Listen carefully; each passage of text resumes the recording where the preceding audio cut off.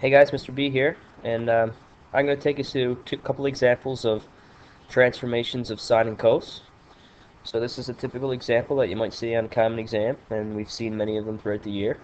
And we begin each problem uh, same way. So we write down our HT, our VT, HS, VS, and my REF. Alright, so that's my horizontal translation. Of course, is over here with the um, X, and it's the opposite of what's there. So uh, it's 90. My HT is 90. My VT with the Y, and it's the opposite, minus 1. My HS is the reciprocal of the number. It's outside the brackets here, and that's 1 over 3 important thing to remember for 2205 students is that sometimes um, these brackets may not be here, and if it's they're not, that means you have to factor first. So you can't have a number in front of the x, it has to be just by itself. Um, my VS is 2.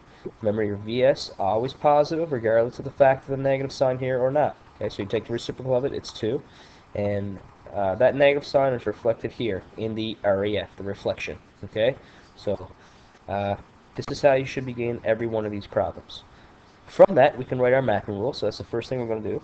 We're going to write our mapping rule. So it's xy goes to brackets. So we start off my horizontal stretch, so 1 over 3.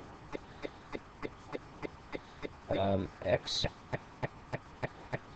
plus 90, so my horizontal translation, comma, then we represent my, we have a reflection, we represent it with a negative. And then I have my VS 2, Y minus 1.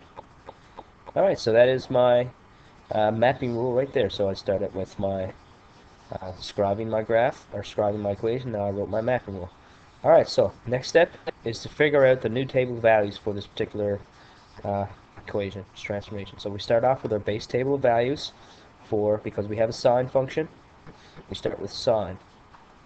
So we have x, y, and we go 0, 90, 180, 270, and 360. So that is how sine begins, and we all know sine starts at 0. It was 0, 1, uh, 0, negative 1, 0. And that is transformed 2 using our mapping rule. And generally, again, you can put x, y here if you want to, but I generally write what uh, what my mapping rule says up here. And then I have over here. That just reminds me of what I'm getting here. So we start x times 1 over 3. That's just, uh, or sorry, 0 times 1 over 3 is 0. So we start with 90. Then we got negative 1. Then we have and 90 divided by 3, so that's 30, plus 90 is 120. And then we have negative 3. And then 180 uh, divided by 3. So that's going to be, let's see, um, so 180 divided by 3 is going to be um, 60 plus 90 is 150 and this one's going to be negative 1 again. And we got 270 divided by 3 plus 90, this is going to be 180. So we can see sort of see a pattern here, it's going up by 30. And uh, this one's going to 210. And we got negative 1 over here, so it's negative times a negative, it's going to be positive 2 minus 1, so that's a positive 1. And then 0 again, so it's going to be back to negative 1. Okay, so this is my new table of values here. Um, so once I get that, now I have the job of graphing it. So go back up to my, well, why don't I drag this down here? So uh, first thing I might want to do is make a little table, make a little axis here.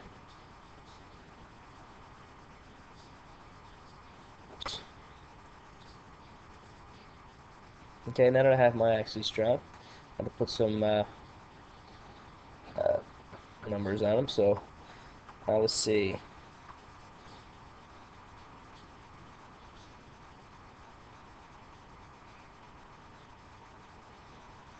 Actually, I'm going to fix this a little bit.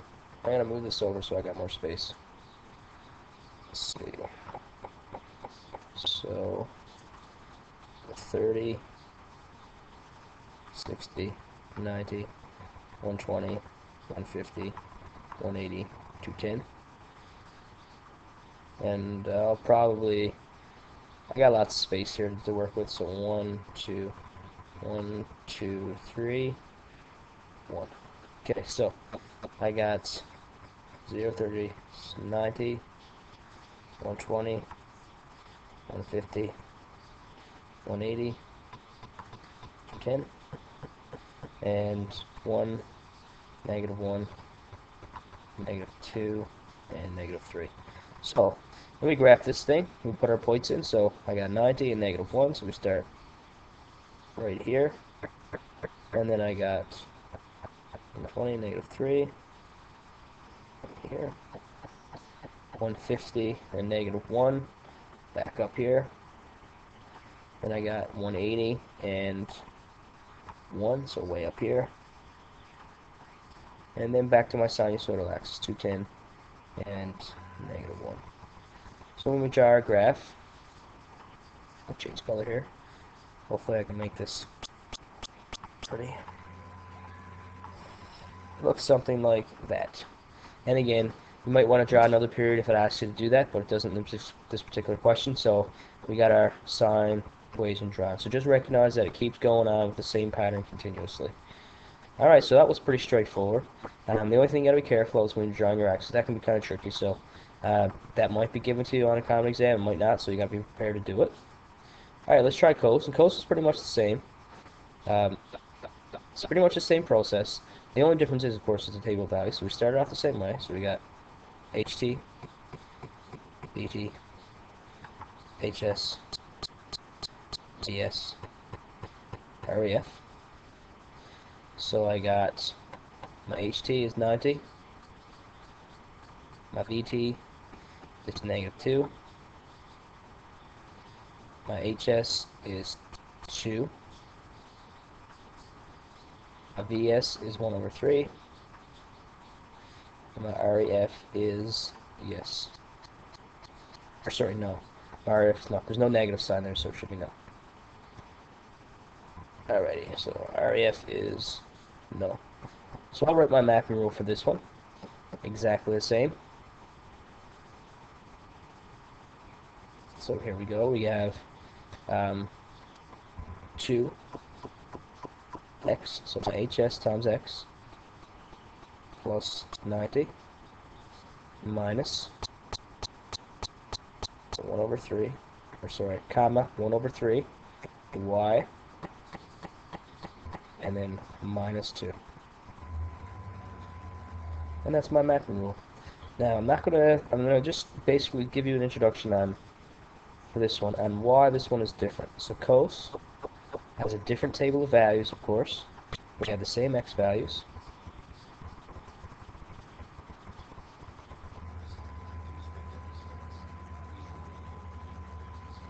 So what we have to keep in mind is that cos starts at a max. So cos starts at 1, then it goes down to 0, then it's down to negative 1. Oops. I'll that negative 1. Then it's to back to 0, and it's back to 1. So the table of values is slightly different than a um, than a sine. So that's the important thing to keep in mind. So when we're finding our new table of values, that affects the shape of the graph. Uh, another thing I want you to keep in mind is that a cos curve and a sine curve looks exactly the same, except the fact when you graph a, a, uh, a cos curve, you're getting a slightly different uh, picture of it. You're actually going to get something that looks sort of like this. And I'll just draw a rough sketch of it. It looks something like this. That's not a parabola. That's a cos curve. Just recognize that. It keeps going on down this way. Even though we don't have the data points there, they're there. Okay? So I'll give you guys the task of graphing this and finish it. Just recognize that graphing these things are exactly the same. They start the same process. The only thing that changes is the base table values. Alright guys, thank you very much. Hope you have a great uh, st time studying.